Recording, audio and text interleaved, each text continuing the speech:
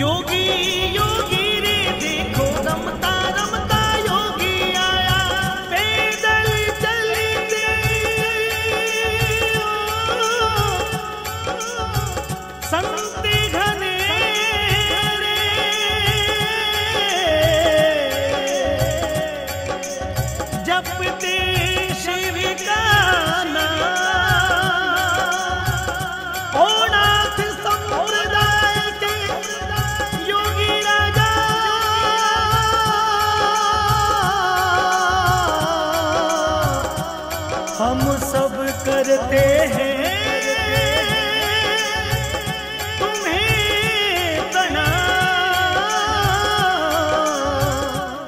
अखिल भारतवर्षीय बेश बारह पंथ अवधूत संप्रदाय नवनाथ झुंडी यात्रा, जिसकी शुरुआत श्री क्षेत्र त्रयंबकेश्वर से कदली मठ तक, विक्रम संवत दो हज़ार बहत्तर, नौ अगस्त नाग पंचमी की प्रातःकालीन पूजा अर्चना के बाद सिंहस्थ कुंभ से प्रारंभ हुई, जो विक्रम संवत दो हज़ार तिहत्तर, दिनांक 28 फरवरी 2016 को मैंगलोर कदरी मठ धाम तक पहुँची। प्रिय भक्तजनों, उसी की अनुमोदना में, हमारे सत्य सनातन हिंदू धर्म की परंपरा में कोई भी कार्य जिसकी शुरुआत की जाती है तो पहले कलश देवता की स्थापना करते हैं। कहते हैं, कलश का दूसरा नाम ही पात्र देव है और अवधूत नाथ संप्रदाय में इस पात्र को हाथों में लेकर झुंडी यात्रा की परंपरा द्वापर युग से चली आ रही है। इस वर्ष सिंह कुंभ से प्रारंभ हुई झुंडी यात्रा में परम पूज्य, प्रातः स्मरणीय, संध्या वंदनीय, समग्र सत्य सनातन संस्कृति के महानतम शलाका पुरुष के रूप में वर्तमान में ब्रह्मलीन 1008 पीर जी महाराज, शांतिनाथ जी महाराज की परंपरा के शिष्य श्री कमलनाथ जी महाराज के अंत्यवासी और तरुण तपस्वी निर्मलनाथ जी महाराज को ये यशस्वी राजपद दिए जाने की परंपरा में इस झुंडी यात्रा की शुरुआत हुई है। शिव ने आदेश किया परशुराम जी को, ऋषि रीति चलाई। हो तब ऋषिवर रीति चलाई। हो कदरी में जब, जप तप की ना दर्शन शिव के शिव के पाई हो निवारण पाप भूमि को आज शिव जी के चरणा माही ध्यान, निवारण पाप भूमि को आज शिव जी के चरणा माही ध्यान, ओ शिव के भक्तों का है जग में अमर नाम। कदरी की ओर संत जाते सारी, सृष्टि का करने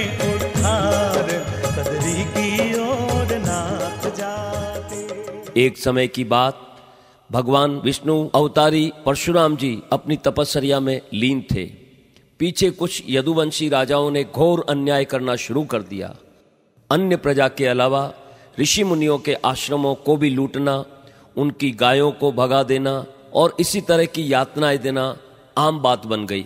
इस प्रताड़ना से बचने के लिए वे हमेशा ऋषि मुनि भक्त भाविक शंकर भगवान की चरण में गए। उन्होंने अपना दुख निवारण करने की गुहार लगाई। इसी बीच यदुवंशी राजाओं ने परशुराम के पिता श्री जमदग्नि, माता रेणुका को भी यातनाएँ देकर उनका अपमान कर दिया। इस बात की भनक तपश्चर्या में बैठे परशुराम जी को पड़ी तो वे क्रोधित होकर निकल पड़े और यदुवंशियों को दंडित करने लगे। उधर ऋषि मुनियों की गुहार सुनकर भगवान शंकर ने तभी परशुराम को दर्शन देकर यह आदेश दिया कि धर्म की रक्षा के लिए उन अकर्मी राजाओं को दंड दो। यों कहकर भगवान शंकर ने उन्हें एक विशाल धनुष थमा दिया। परशुराम जी ने शिव आज्ञा को शिरोधार्य कर उन अकर्मी यदुवंशियों का विनाश कर धनुष वापस शिव जी को देने के लिए रवाना हुए। तब भगवान शंकर ने कहा, हे मुनिवर, ये धनुष आप राजा जनक को सौंप दो, जो आगे चलकर इस धनुष के माध्यम से एक महान कार्य होने वाला है। परशुराम जी ने वो धनुष राजा जनक को सौंप दिया।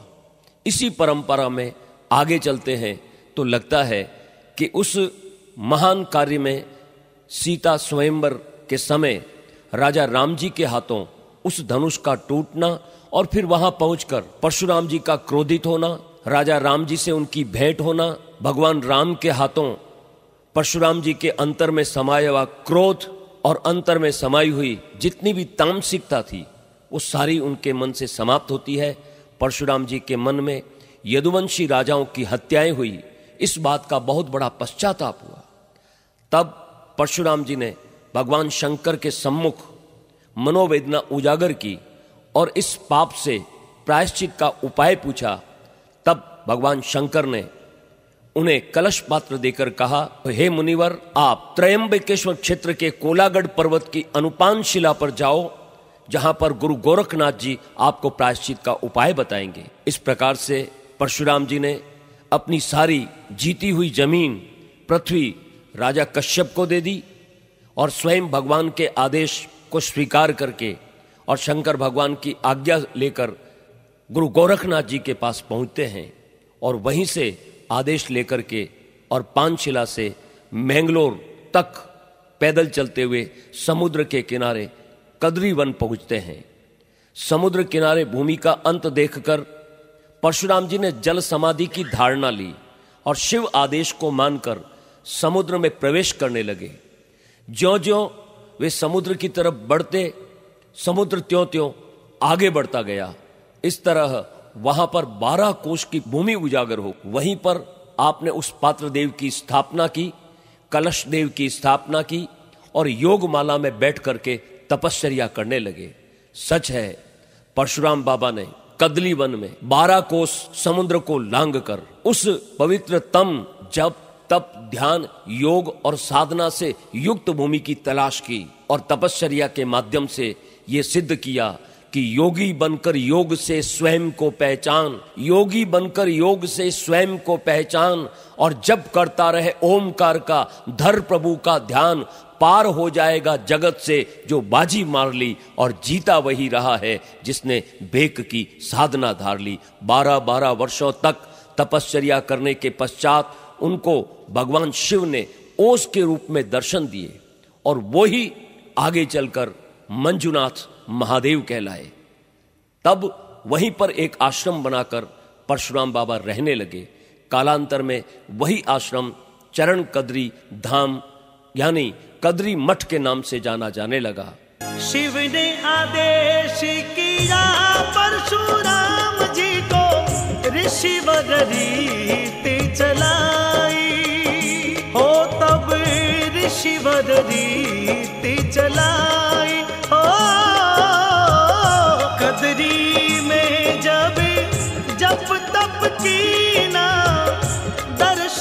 शिव के पाई।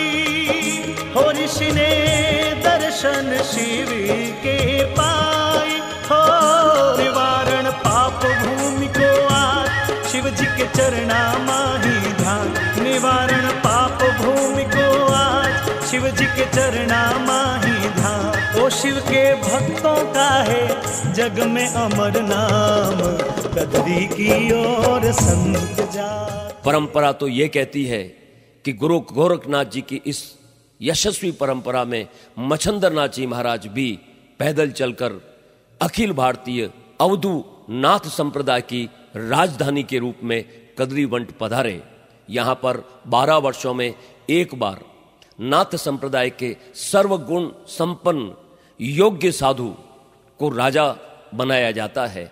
गत बारह वर्षों पहले यहाँ के राजा संध्यानाथ जी महाराज पीपलिया कला कला से थे। और वर्तमान में परम पूज्य एक हज़ार आठ ब्रह्मलीन पीर जी शांतिनाथ जी महाराज सिरे मंदिर भैरू अखाड़ा, जालोर के शिष्य कमलनाथ जी के अंतेवासी तरुण तपस्वी निर्मल स्वभावी निर्मलनाथ जी महाराज को यह यशस्वी राजा का पद 7 मार्च 2016 महाशिवरात्रि के मंगल में अवसर पर अवधूत योगियों की पावन परंपरा में उनका राज्याभिषेक हुआ।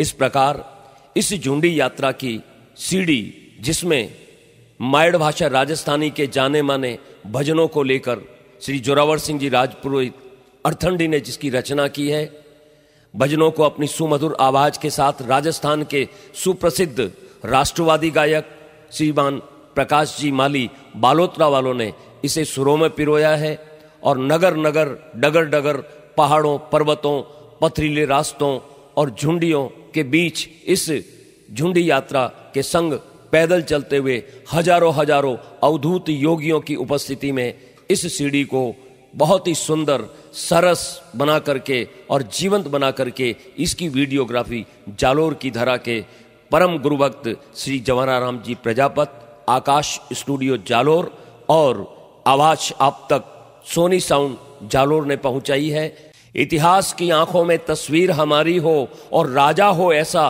कि प्रजा भी आभारी हो, मठ को महकाने का ये मौका आ गया है तो राजा की पदवी भी कल्याणकारी हो कल्याणकारी हो कल्याणकारी हो। ऐसे राजा के रूप में, राजा निर्मल नाथ जी महाराज के बारे में हम क्या कहें? निर्मल नाथ जी निर्मल नाथ जी आपके संयम की हकीकत क्या होगी? राजा निर्मल नाथ जी आपके संयम की कीमत क्या होगी? पूरे कदली वन को महका रहे हो और हकीकत क्या होगी?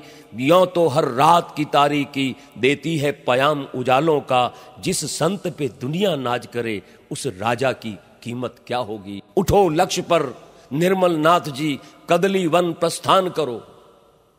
उठो लक्ष्य पर, निर्मल नाथ जी कदली वन प्रस्थान करो और बुला रहे हैं गोरखनाथ जी। राजा पद स्वीकार करो, अटल रहे तो विजय गान इतिहास तुम्हारे गाएगा और राजा निर्मल नाथ आपका नाम अमर हो जाएगा। अमर नाम की इस यात्रा में चल पड़े, इस अवधूत योगी के बारे में और क्या कहें? अरे वफा से प्यार का इजहार किया करते हैं। वफा से प्यार का इजहार किया करते हैं जुंडी यात्रा से पैदल जो विहार किया करते हैं, हम हैं लोग क्या? नवनाथ चौरासी सिद्ध भी निर्मल नाथ जी राजा को नमस्कार किया करते हैं। ऐसे युवा संत और राजा निर्मल नाथ जी महाराज, बहुत ही निर्मल स्वभाव के धनी, धरती का सीना चीरो तो उर्वरता बढ़ जाएगी, नीति का निर्माण करो उज्जवलता बढ़ जाएगी। गुरु गोरख का वचन बुलाता और उपदेश पुकार रहा है। और राजा की पदवी पे देखो, निर्मल संत पुकार रहा है, निर्मल संत पुकार रहा है। ऐसी निर्मल योग साधना के बल पर जीवन में एक बात का ध्यान रखा और उस बात को योग के माध्यम से गुरुओं की परंपरा को आगे बढ़ाने के लिए जालोर की पुण्य भूमि से चलकर ये फकीर, ये संत, ये सिद्ध, ये योगी, ये अवधूत राजा के रूप में मैंगलोर के कदली वन पे आ पहुँचा है। सच है, योग साधना करके जिसने जीवन सफल बनाया है, उसकी जीवन यात्रा में राजा का पद पाया है, राजा का पद पाया है। बोलिए राजा निर्मल नाथ जी महाराज की जय हो। आदेश आदेश आदेश।